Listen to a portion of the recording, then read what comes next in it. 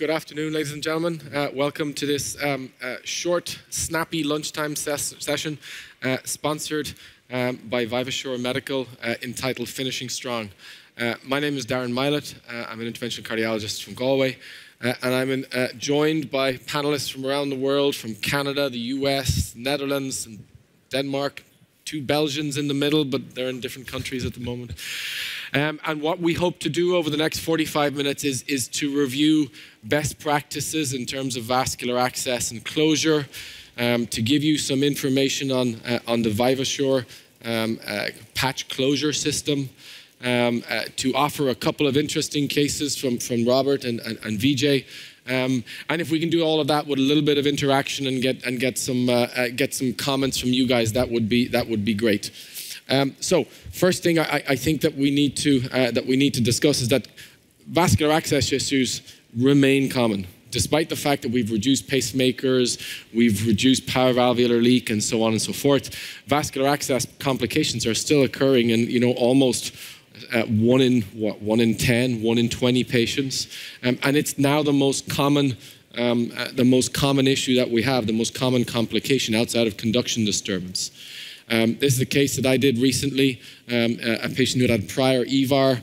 Um, it's a little bit hard, that blush is hard to see, um, but this patient was bleeding profusely at the end of the procedure, and despite best practices, we ended up having to put a covered stent in to, to, uh, to close this patient's anatomy. Um, so what I wanted to first get from you guys was um, an understanding of what you're doing at the moment. Um, Ole, you showed us a case a few minutes ago that was a single ProGlide, probably with an added angio seal at the end of the case. Um, but most people, I think, are still using two plug-based or, or suture-based closures. Is that right? Can I see a show of hands? Who's using two, two ProGlides to close most of their cases? Okay. Who's using a single ProGlide? Okay. And who's using a single ProGlide with the plan to put an extra angio seal in there? Yeah. Okay. So I think that's a strategy that's really been developed over, over the last number of years and, and I think bails us out of a lot of oozing in the groin. Of course, we do have dedicated devices, and these devices uh, are in development. We've seen first and second generation iterations of them. They're not perfect. Um, they, they, have got a little bit of distance to travel in terms of uh, in terms of being as, as safe and efficacious as, as, as we as we would like. But it seems like the, the, the, our community remains ready for the second generation of these devices because, as I just showed you, we're still having significant vascular complications. So, with that, I'm going to hand you over to Ole. And Ole is going to take us through his best practices for vascular access and vascular closure, independent of any devices. Um, so, Ole, give us some tips and tricks, please. Yeah. Well, this is more just to not specific tips and tricks, but it's more to set the stage a little bit on what is important um, for from access to closure, if you talk about TAVI-related uh, access and closure. So I think, I think about these six topics. Um, first of all, and I will go maybe, uh, I will quickly name them and then I have one slide per topic. So pre-procedural CT analysis, I think you have that data available, so why not use it? I see so many operators not using it. Secondly, echo-guided vascular puncture. I think we're, we're over the last couple of years, most of the people agree that echo-guided puncture has a lot of benefits as compared to blind or fluoroscopy-based. Then another thing is patient-tailored approach. That's a little bit what I always uh, mention is that I don't like operators who say, I always do only this and I never do this, 100%. No, I, I look to the complexity of the case I'm involved in. I mean, most of the time I don't use a safety wire. But if I do a very complex transfemoral where I push with shockwave or with atherectomy or something, I would be stupid not to use a, safety wire. Yeah? So I taper to the needs and the complexity of the case. Then your choice of vascular closure device, as Darren already mentioned, different devices that are possible. We're going to talk about that more in detail in this session. Control of vascular access, that's another uh, interesting point. So many ways um, of controlling your closure. There are some colleagues that do it from the radial approach and they spend sometimes a couple of minutes of radiation to get a pigtail down there and, or another catheter and control it. And what then if you can't? Or contralateral uh, control, or maybe through the arteriotomy of the TAVI as we do, or maybe echo-guided control. Some people don't do an angiographic control, do only the echo control. So there's many ways of doing it. I don't say one is better than the other.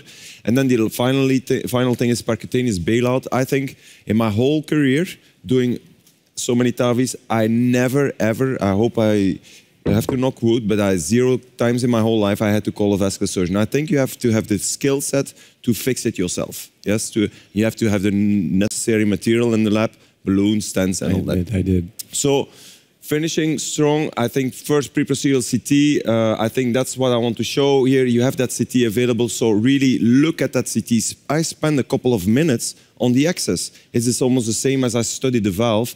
Uh, I see sometimes people going into a case, they just look to that 3mensio report from the company where they see just these vessels like this. The, I like to go to, to scroll through the CT, look at the iliacs, look all the way to the femoral puncture site, and sometimes you, define, you, you detect that there's maybe, as you see in this particular case, it looks a great vessel, but then rather close one centimeter above the puncture site, there's kind of a circumferential calcification on the right-hand side.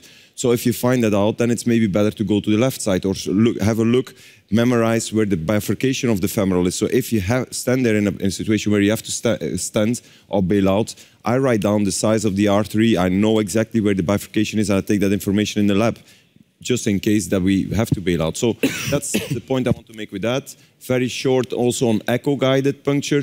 Different schools there. Some people like to use just only the short axis view as you see on the top view. Um, other people, they go, they do a combine, combination as I do. I do short axis longitudinal view, but some people only do the longitudinal view, and that's also fair enough. The benefit of doing a longitudinal view is that you can avoid puncturing in the part where the artery starts to dive down. You see that every common femoral artery has a part just above the femur head where it starts to go pretty steep down. You can make a puncture there, but if you make a puncture there, your vascular closure device failure rate goes exponentially up. So it's better not to puncture in that diving in that diving part of the common femoral artery. Um, yeah, that's just a little. I can skip over this, but this is also it's important where, uh, to see the art. Uh, this is the bifurcation, as you see, superficial profunda. We go up a little bit again, then we see the common femoral artery. This is a very skinny patient. It's also uh, important to look not only where the artery is here, it's centralized, and then you see the, uh, the, the bouncing, the tenting on the artery, we're in, and then the wire goes in. It's also important to look on where the depth of that artery is regarding to where you puncture the skin. If your artery is, let's say, at five centimeters of depth on your echo, you also have to make the skin puncture at a little bit of distance, four or five centimeters compared to your echo, because if you just puncture right just next to your echo probe and your artery is at five centimeters, you will never see the tip of the needle bouncing on the artery. So that's a common mistake that fellows make. Then here, that's a patient-tailored approach. As I said, if, if I have a little bit more complex setup, I do like to have some built-in, some safety net or two nets. Um, this I won't tackle, but that's the suture-based, patch-based, collagen-based, and sometimes these, these, these technologies are, you can use them together, or I use one as a bailout, or you, it's not because you choose one closure device technique that you have to stick with that. You can combine a couple of these. Uh, I've, I've done that a couple of times. Then the uh, control, either that's the angio control as we do nowadays in Copenhagen. So after the re retracting the large introducer sheet, we pull on our ProGlide. Most of the time, again, there again, it's not 100%, it's 85% of cases where we go for single ProGlide. In some more challenging cases, we still add the second as a pre-closure. But then we, we pull on these pro ProGlides, we tighten them already and we go in with a six or an eight French sheet. We make a small control angio. And if we see this, then we know it's probably good or we're going to add an angio-seal. Typically, we add an angio-seal if it's a single ProGlide. On the right-hand side, that's just an echo control. You see very nice if the flow is fine. And if you take the color away, then also you can very often uh, see actually very nice, uh, the, if you use an angio-seal, sometimes you see the foot plate of, the, of that. So, uh, and that there's, you can exclude that there's an uh, pseudoaneurysm, for example. And then finally, um, as I said, I think you have to be able to bail out your own problems. So, for example, there we had a failure of the closure, and then we had clearly there we went for an ipsilateral lower puncture, and then we fixed uh, the issue. So I think these six parts or aspects are key for me from to go for a good access to a good closure of your cases. And in contemporary practice, I think you should really aim in your practice that you have less than 1% major vascular complications if you do TAVI. And I think you can obtain that if you integrate these aspects in a correct way. Yes. Ole, you've never you've never called a vascular surgeon. It's No. impressive. I have Really? lots Honestly, of times. zero. My Yeah. vascular surgeon is not a very nice. The guy who works on Wednesday is not a very nice guy. Um, questions for Ole from you guys in relation to how he does his closure or, or, or things that you do differently. Anyone want to give us any tips or tricks of what you do in your own practice? No, You've been quiet this afternoon. You catch. Well, Oh, oh. All right.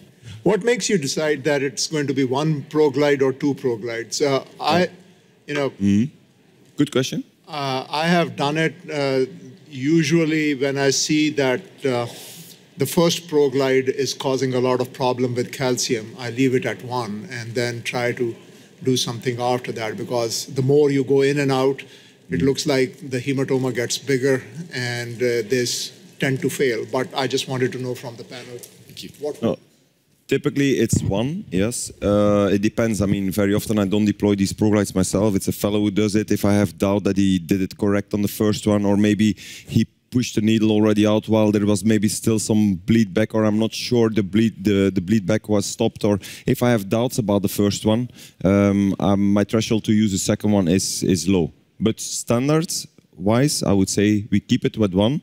Um, but okay, I mean, I don't say you have to do that. I mean, everybody has to do what they feel most comfortable with, I think. You know, it took me also a couple of months to get to that comfort zone, and now I feel good with it. And I sometimes have the impression that sometimes using two, these two programs sometimes interact with each other. They do more bad than good. So if I do, if I have a very clean puncture, if I have a very clean pull back on my and, and good feel with my one single ProGlide and I deploy it at 12 o'clock, I feel nowadays so confident with it that it goes well that I do it. But I look, I mean, again, I'm not the guy who says you have to do 100% of times this or that. Or I think everybody should adapt to his own uh, what he feels most comfortable with. I think you sh- medicine should be like that. Yeah. I- I think there are also it's it's also a case by case discussion. Yeah. Um, for instance, if you have the scenario that there is only one uh, femoral artery accessible and your left side is not accessible, and you you would for whatever reason require re-access in the following weeks, then you preferably don't want to have an angioseal there in, and that would be, um, for me at least, um, an argument in favor of two proglides to start. And and help me understand. So, in but in principle, you use two devices, right? You always use one Most proglide, and then Yeah. Well, but, but but if you have a six or eight French sheet, what if you take that out? You do manual compression. No, no. Then we most of the time. Well, if it's a very small artery and um, and it looks already a bit tapered, and we use, for example, two prolapse, then we're gonna just uh, then it typically we tighten just the knots and that's enough. But, but I mean, so you always will, and typically you use two devices, and it's Yeah, typically yeah, one Yeah, it's ProGlide very and, a- rare that I and, use uh, one, yeah. and the angioseal is it a six French or an eight French angioseal? Yeah, that's a good question. I mean, actually, it's always nowadays it's an eight. We thought in the baby that we would taper it, but actually, what the company tells me is that the, the foot plate in the vessel is exactly the same size. It's just the collagen on collagen the on the top that which is bigger or not. So now I could just go for eight. Yeah. And I must say, Ole, I, I recently visited Ole in Copenhagen, and it's a very smooth, very. Uh, we were one of those who our secondary access is radial, and we would spend 20 minutes coming down from the radial, getting that extra long multi-purpose down into the leg, taking all those extra X-rays, and I really like you pull one Perclose, you put a six or an eight French sheet in, and you do the angio um, uh, retrograde. If you've got a problem, you see it and then you can react. And if you don't have a problem, you take out your six French or your eight French and you replace it with an angio seal. So it's, it's a very efficient system. Uh, other questions? Yeah. Thank you. Do you sometimes use a SFA? Um, Yeah. If it's a good caliber and less calcifications than common? Yeah, I've done that Or for, definitely. SFA as a, as a safety and a bailout or SFA as a for the primary primary, I access? Primary, Primary access. access. Yeah, yeah, sure. I've done this. I mean, especially sometimes you're forced to do it in extremely obese patients, you know. Uh, We have, unfortunately, these patients with BMI 45, 50, even 55. I mean, then you, yeah, you go in the SFA. I've done that.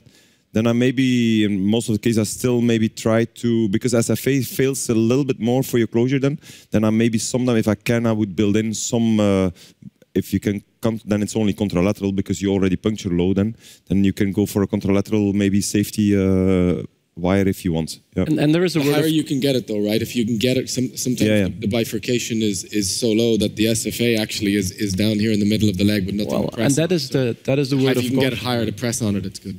yeah. But you have to be careful with SFA. Yeah? Sometimes you have uh, anterior calcification, the common artery, and it's uh, a little bit hostile. What's, well, what's, have you tried it? What's your experience with it? Yes, I have uh, not a lot, but maybe 10 times. Okay, that's, that's look, I mean- that's a good Very experience, few. and, and so far so good. No pseudoaneurysms, no bleeding that you were unable to control. So far, so good, but with a great caliber. Okay, okay. So big vessel, no calcium. It's okay. Uh, and better than common artery. Okay, perfect. But what you could do, I mean, this is controversial, and, and the companies will not like me to say this, but for example, if you have a very calcified puncture site on both sides, let's say it's horribly calcified, that you know suture base is not going to work there at all. What my approach is, then I still, and I think all the rest of the vessels are fine, I will still do that case probably transfemorally. What I will do is I do a puncture.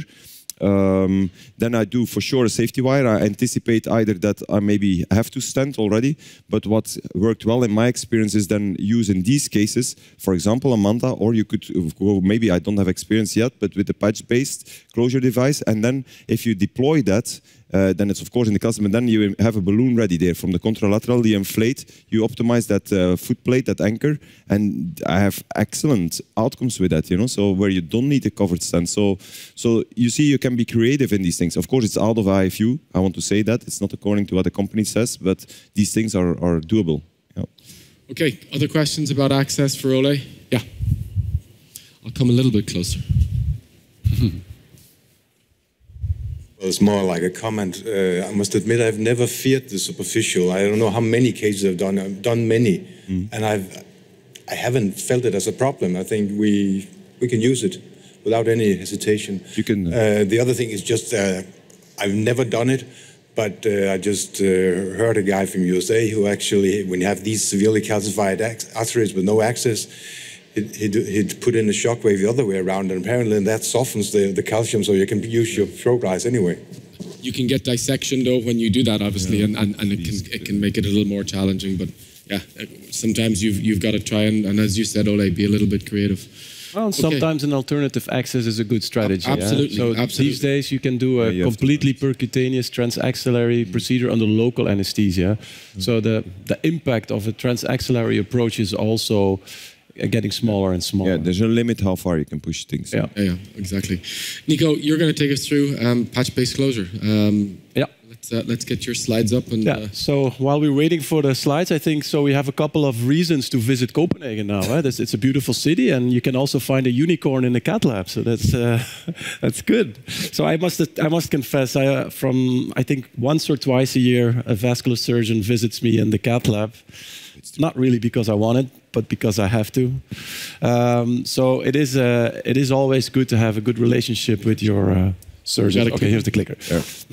so I'm going to talk about patch-based closure, and uh, most of you will be familiar with sutures and with plug-based closure, with angioseals or with manta for large bore accesses. And these are my conflicts. I think in the space we have now two randomized controlled trials, and uh, this is important because randomized controlled trials will give us um, information that we will not gather from retrospective or even prospective registries. And uh, this is an interesting one, uh, this particular situation. So we have a publication in JACC, uh, Cardiovascular Interventions, and one in Circulation, where two proglides was compared to one MANTA. Both trials had their limitations, uh, but both trials had a clear trend towards more complications with, um, with the plug-based closure. And if you then combine the trials um, and you do a meta-analysis, then the results basically are totally opposite of, the of what you would see if you do a retrospective comparison of suture-based versus plug-based closure. So from the retrospective analyses, it, uh, it seemed to be that um, the uh, let me see. Does this work? No. Okay, but you see on the right-hand side, you see that Manta seems to be better than Proglide. But once you enter the randomized controlled studies, the reality was reversed. if you keep your finger on that, there you go. Oh, Oh, there you go. Good, good, good. It's a so, patch. So, for who did not see it, here you go. So, here you see from the registries that Manta seems to be the safer option, but then when you uh, look into the randomized control studies, the reality seemed to be opposite. And there are reasons to help explain why this is. I think both uh, randomized controlled trials had their intrinsic limitations in terms of how to get access. For instance, in the German study, there was no ultrasound guided access.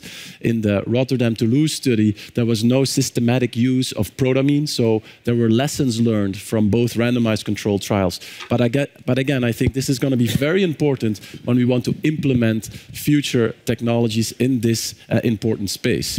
Now, let me tell you something about patch-based closure. This is the PerQseal, and um, PerQseal is a different concept. It will remind you of um, maybe a Manta or um, uh, AngioSeal, but it's totally different. It consists of an internal patch and an external fixation mechanism. It's simple to use, intuitive. Uh, there are two sizes, and basically um, you can treat vessels with a vessel diameter between 14 and 24 French. Um, on the arterial side, and now with this PerQseal Elite, which is the latest generation of this technology, there is also uh, an opportunity to close large bore venous access up to 30 French. And this becomes very important because if we look at the TMVR and TTVR space, the devices are becoming 30 French and smaller in terms of profile. This patch behaves differently from the other technologies around. What the patch does is also it traps platelets, and these platelets get activated by the collagen in the in the um, by the collagen fibers, and then you create a physical bond between the patch and the arteriotomy site, and by doing so, you close the arteriotomy. It's a very effective way of closure. It has been studied in multiple uh, prospective registries, the Frontier family of registries, um, uh, and it showed definitely safety. I think the, the number of vascular complications over five prospective registries were in the, you can count them on, on the fingers of one hand. Uh, and this is a, an example of a venous closure in a pig model that, that we did a couple of months ago in um, Rotterdam. So this is the inferior caval vein that has been accessed with um, a 20 French system. And here we have exchange for the PerQseal sheath, you deploy the, the patch on the inside, you pull the patch towards the venotomy, and then you um, deploy the fixation mechanism. And you see there is uh, immediate hemostasis in this pig model that was, by the way, also anticoagulated with uh, heparin. So this looks very promising, uh, not only in the arterial space, but also in the venous space as a closure device. To conclude, um, uh, I demonstrated patch-based closure. There are two large or larger prospective studies uh, ongoing, one in the United States that is led by Dr. Ayer, and one in uh, Europe that uh, uh recently uh, enrolled the first patient. Uh, in the European trial, there is, there's going to be an arterial leg and there is going to be a venous cohort where we will treat um, over 200 patients in total. Any questions on the patches? So, Nico, thanks for that. Um, one question I suppose relates to, to I mean, let's, this is the first patch for, for a venotomy site. Yeah. I mean, most of us would say, well, venous closure, put a perclose in, press on it, do a figure of eight. But equally, if we look at the data, 8, 10% major or life-threatening vascular complications in triluminate. Um, is, this a, is this a major problem that this could solve? Well, there's definitely a problem with large bore venous access, and we also know it from the uh, from the Intrepid trials uh, in the United States. There was also a bleeding signal. Um, whether um, we solve it with a, a new kind of uh, closure device or whether we solve it with smaller profile uh, delivery catheters. Okay, I think we will need both, but I do see um, an indication for more reliable closure mechanisms. That said, I think with our TEER experience of uh, that is growing uh, globally, uh, we typically use two ProGlides in, uh, for 24 French systems, and it works very well as well. Yeah, equally, I would say that my last visit with my vascular surgeon, Ole, you haven't had this experience, was a venous was a venous stick, and apparently I stuck right at, at the bifurcation of uh, uh, of the of the femoral vein. Um, and the patient went to theater for an exploration and, a, and, a, and a patch closure because it was it, it just it just wouldn't stop bleeding. So yeah, but that, that and that's the problem, right? Punctures um, at the bifurcation of arteries or veins, that is something that you need to avoid at I all that, I know that now. Thank you. and also, a, a patch closure will not help you there. By the way. okay. Yeah, Just okay. a question on that patch itself. How does it feel? How flexible or stiff is that? Or It's how? very fle- it, it's it's relatively flexible, so you can really compress it Yeah. between your fingers. Okay. And it's um, you know the, one of the advantages is that you what- also what- need what's to the you size? you What's the size of it? Like the Um, what the, what's the size? I know I don't know the correct. If I would say it out of my hand, is it 12 or 15 Andy, millimeters? You want to you want to tell us? The patch is uh, 20 by 15 millimeters, and it's uh, 200 microns thick. yeah. and, and very flexible on the inside. Yeah. But actually, the, the fixation mechanism is, is quite stiff. But you the don't need to measure any venotomy depths or arteriotomy depth. So what you need to do with a manta, for instance, that's not required with you this. You don't have to do anything pre. no preparations up Yeah, front. okay. Yeah. Um, the other thing I think that's, that's important here, and you, you mentioned reaccess a few minutes ago, is that this whole system is completely resorbable, right? This thing goes away. Um, and as far as I understand, within three months, the patch is completely reabsorbed, so you can reaccess if, if, if needed be. Not just the actual patch on the internal, but the actual fixation mechanism on the outside. Vijay, do you have That's a comment? correct. Uh, yeah, so the patch does, when, before you put it in, you do need to wet the patch in uh, non-heparinized saline to put it in, just to activate it. But it does give you a little bit of a tactile feel as you're deploying it, and that does allow you to deploy the device. But uh, you're right, you can barely, you cannot see it, and the only disadvantage, you really can't see any of the system in the fluoro. So once you deploy it, it's deployed, but you can see it with the ultrasound. Uh, we have not re-accessed through it yet, but certainly theoretically, you can re-access it after after that period when it's sort of completely. We've done uh, uh, ultrasounds on these patients at 30 days, and you can barely see anything left behind. So Vijay, you're going to share a case with us in just a moment. Anybody have any questions for, for Vijay, for um, for Nicholas on the, on the concept of using patches or plugs? Yeah. Were there any thrombotic complications since um, you said that uh, it attracts thrombocytes? Yeah, so collagen is, is the most um, dramatic platelet activator. Um, have you seen thromboses early or late uh, in, the, in the studies with this? So, no. So there are no. Th- this is one of the interesting features and findings from the Frontier uh, registry uh, registries, a family of studies. Uh, no late complications, zero, and no thrombosis. So we know, for instance, with manta closure, we do see uh, thrombosis, but those are often, almost always acute uh, occlusions and thrombosis. Yeah.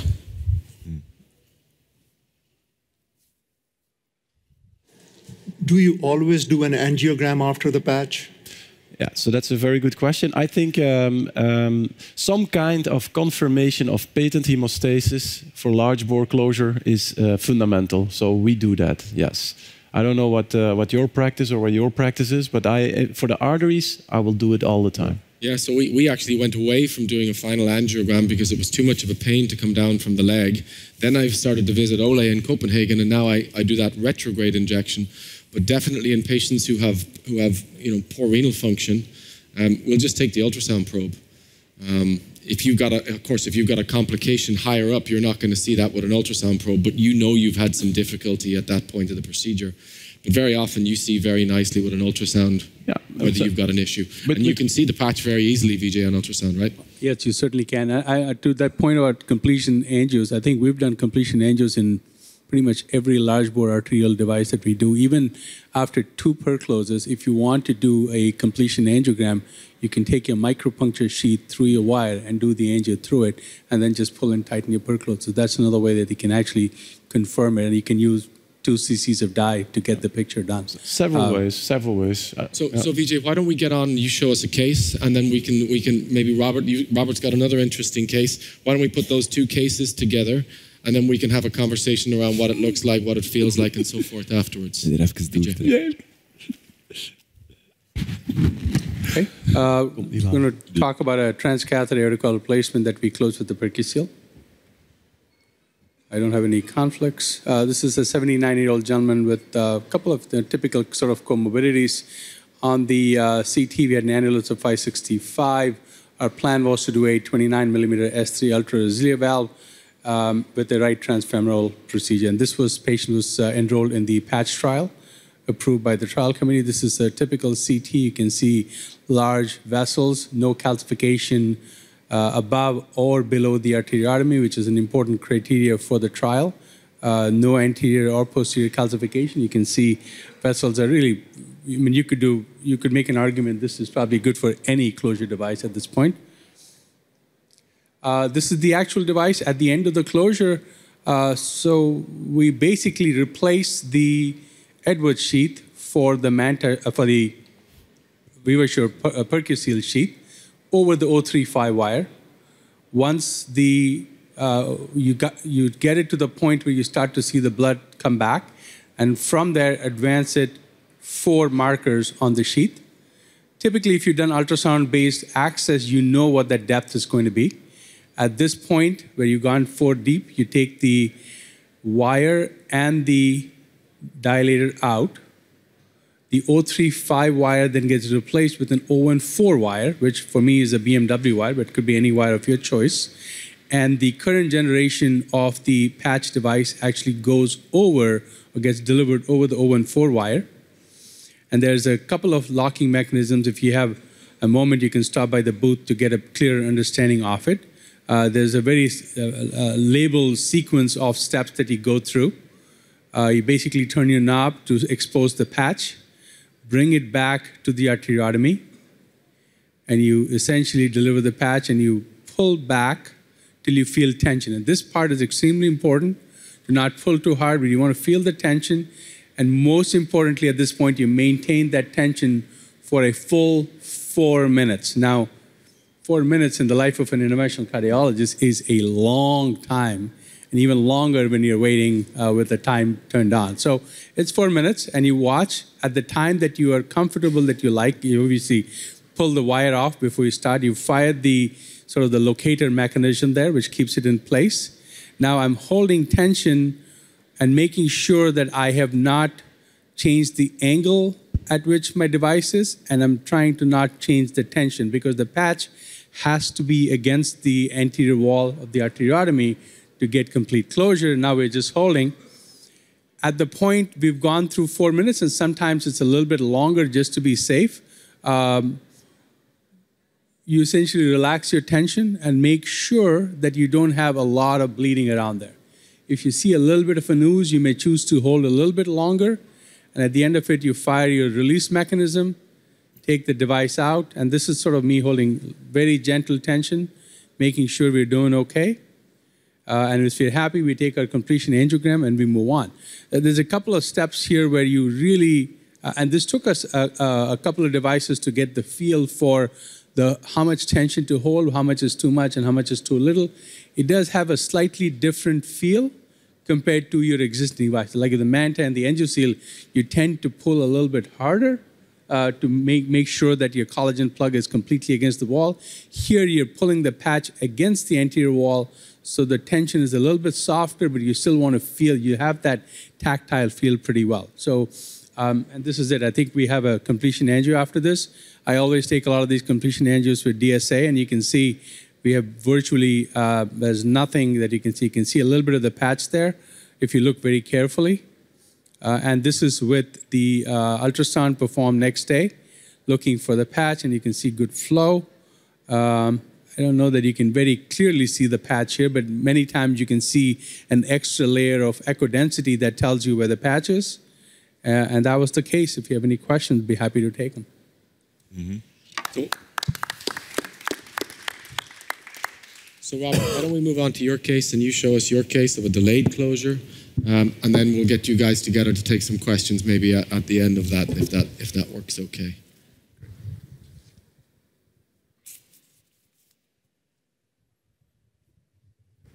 All right, so I'm going to present a case. It's not a TAVR case. It's a, a, patient who was a little unstable, required a large bore access for effective therapy, and ultimately underwent a uh, Vivasure uh, PerQseal closure of the large bore access uh, with good outcome.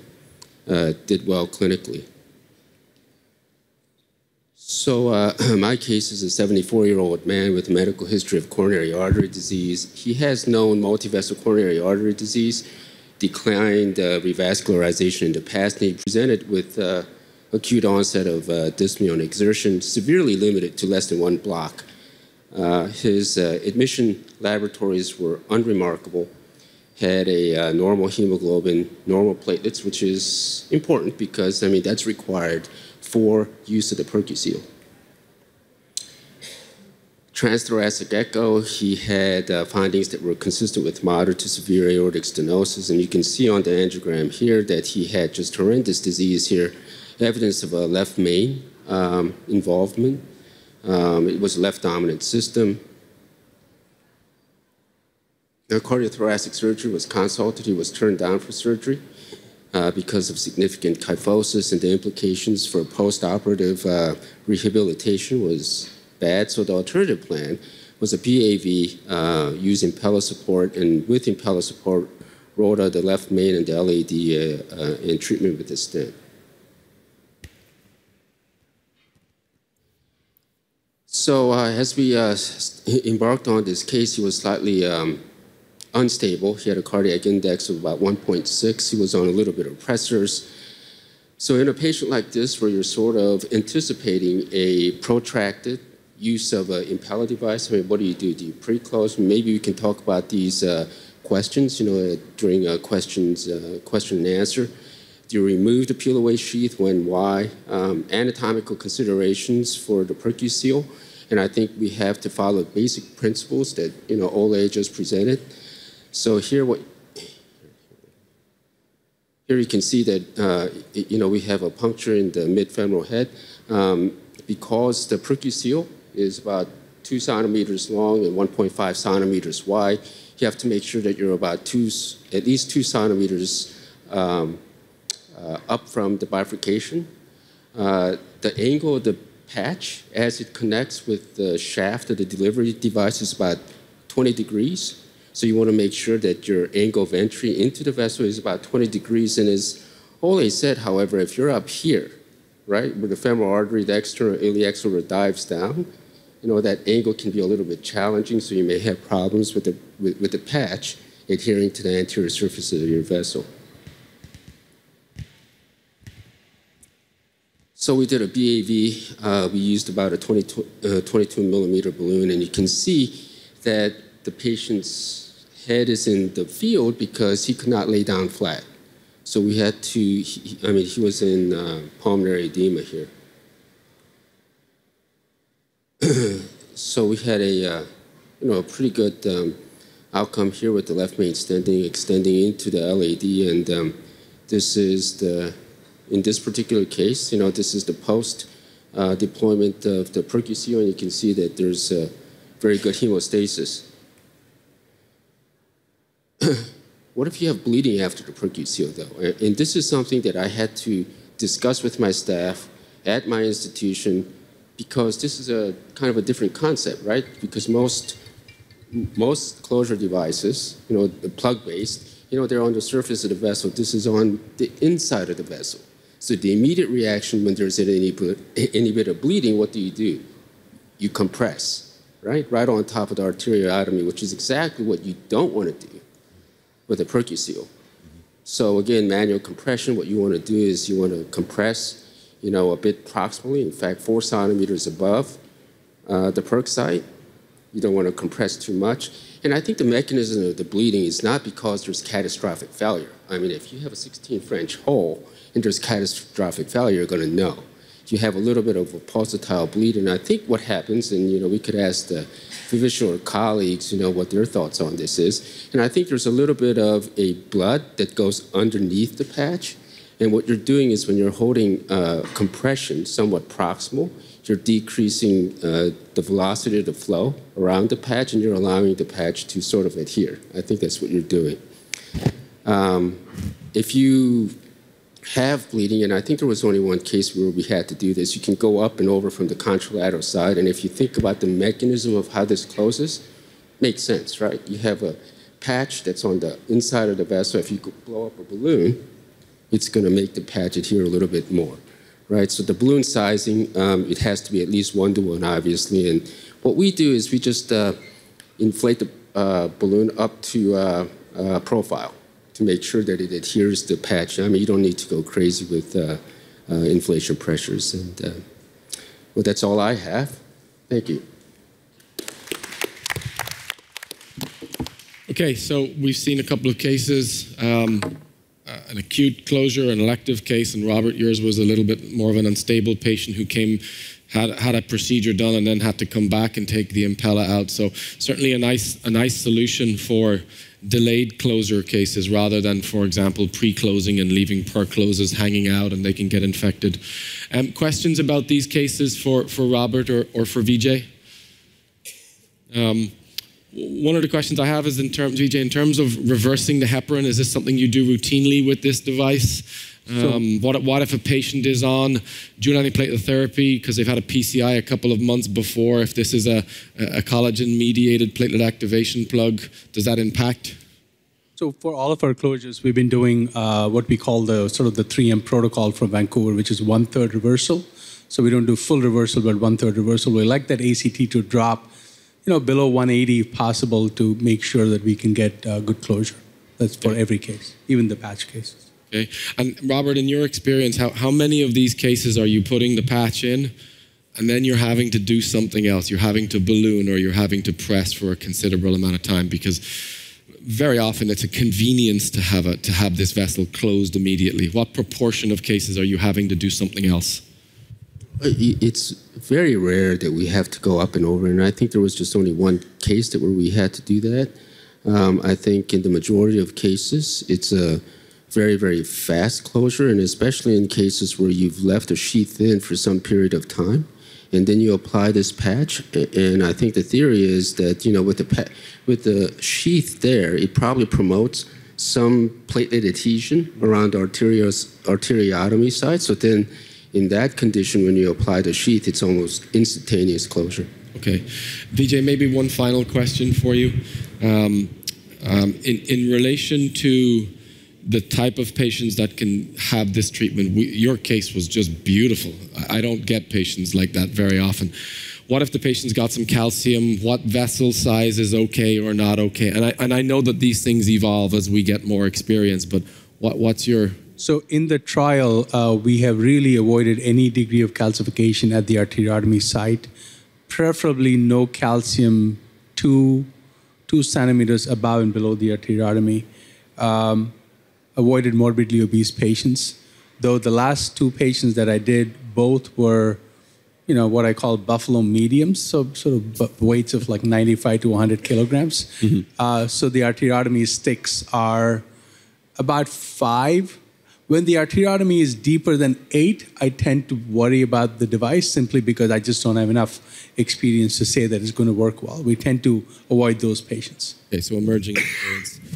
Okay, so look, um, uh, uh, I think we, we've heard from Ole um, interesting techniques, use the CT, ultrasound guided puncture, patient tailored approach, have a bailout plan. Um, and, and, and, and if you do that, your risk of vascular complications in Copenhagen is zero. Nico, unfortunately, and I have a few more of those vascular complications. We have vascular complications, but we bail them out. You deal yes. with them. Okay, okay. Nico and I have good relationships with our vascular surgeons, or maybe bad in my in my sense. But we heard from Nico um, about patch-based closure that that this um, that these devices do offer a, a potential solution for routine patients, but also delayed closure patients, like Robert's case, or indeed potentially for bailout cases uh, in, in which we failed to close with more traditional methods. Um, we saw a great case from Vijay in terms of a, a, standard transfemoral TAVI with a perfect closure, and Robert showed us a delayed closure. So with that, I want to thank you guys for coming. I want to thank Vivasure Medical for, uh, for supporting um, this session, uh, and I wish you a, a good meeting and safe home later on this afternoon.